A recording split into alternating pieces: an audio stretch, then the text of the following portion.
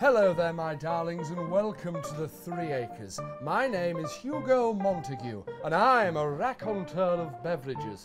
Today I'm going to show you how to concoct the perfect Mr. Fitz Aqua Spritz. So come on and join me and tickle one's innards.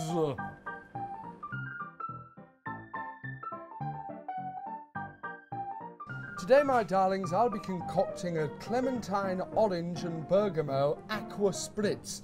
And for those of you who are sweet enough, it's no added sugar. Stage 1, the chill. Add cubed or crushed ice to your Mr. Fitz Aqua Spritz glassware. Stage 2 is the spill. Decant an exact measure of the Mr. Fitzpatrick's Clementine Orange and Bergamot Cordial and pour over the ice, watching as it cascades and mixes. Oh, delicious. Stage 3 is the fill. Take your glassware of choice and fill it with Aqua Spritz still or sparkling pure filtered wonder water. Garnish for aesthetics and added flavour.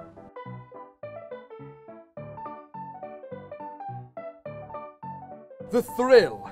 Immediately serve the refreshingly chilled, exquisite tasting Mr. Fitz Aqua Spritz and enjoy the unique thrill of consuming a beverage that is both full of flavour and free from alcohol.